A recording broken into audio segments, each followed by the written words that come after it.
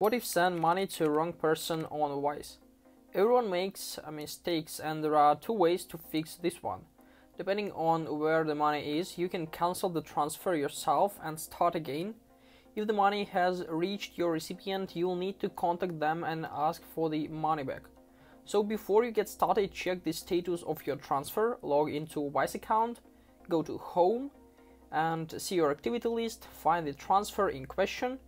It should be marked as pending. You can cancel your transfer if you can see the cancel button on the transfer will send the money back to your bank account and you can set up another transfer to the right person. Contact the recipient if you didn't see cancel button uh, on our like transfers so transfer was complete our conversion process is fast and sometimes it's too late to cancel. Once it's marked as complete, the money is out of Y system and into the banking system. So if you don't see the option to cancel, get in touch with the recipient, tell them about the mistake, ask them to send the money back to you. Tip: You can cancel uh, you can cancel your transfer on Wise.